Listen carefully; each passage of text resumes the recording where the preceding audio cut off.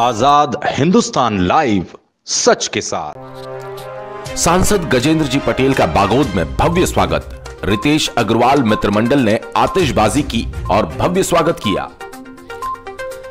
ग्राम बागोद और आसपास के पूरे क्षेत्र में प्रदेश उपाध्यक्ष बनने के बाद प्रथम नगर आगमन पर सांसद गजेंद्र पटेल का बागोद में भव्य स्वागत हुआ। सांसद जी के स्वागत हेतु पिछले कई दिनों से कार्यकर्ताओं द्वारा तैयारी की जा रही थी। सांसद श्री पटेल के बीजेपी प्रदेश उपाध्यक्ष बनने पर कार्यकर्ताओं में बहुत जोश और खुशी और हर्ष का माहौल व्याप्त है। उनका जगह जगह स्वागत मंच लगाकर स्वागत किया गया। फूल मालाओं से और बावी में विनोद जायसवाल, संग्राम सिंह, रूपाला ग्राम में मांगीलाल जाट, मित्रमंडल द्वारा सुरपाला में हुकुम गुर्जर, सोहन परियार, मित्रमंडल द्वारा स्वागत किया गया। बागोद में कार्यकर्ताओं में स्वागत का ज़बरदस्त उत्साह देखा गया। भारी संख्या में कार्यकर्ताओं ने एकत्रित होकर सांसद गजेंद्र पटेल और पूर्व विधायक राजकुमार मेव का स्वागत किया।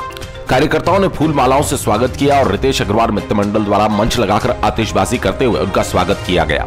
सिरवी समाज, जादव गुर्जर समाज, बड़ गुर्जर समाज, इन्होंने भी अलग अलग अपने अपने समाज का मंच लगाकर उनका स्वागत किया।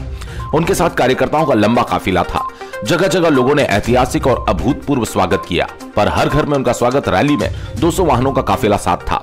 साथ में पूर्व विधायक राजकुमार मेव, पूर्व जिलाध्यक्ष राजेंद्र यादव, रितेश पाटीदार, सांसद प्रतिनिधि गुलाब पाटीदार, अजीत छाजेड़ रितेश रोकड़े पवन तंवर, राजेश सितोले, कृष्ण रोकड़े जीतू गोड़ आसपास पूरे ज़िले के कई पदाधिकारी उपस्थित थे और बलवाड़ा मंडल के कार्यकर्ता भी उपस्थित थे।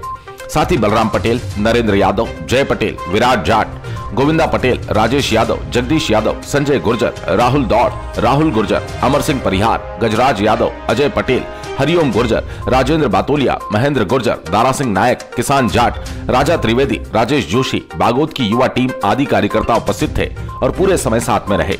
बागोद से रितेश अग्रवाल की रिपोर्ट।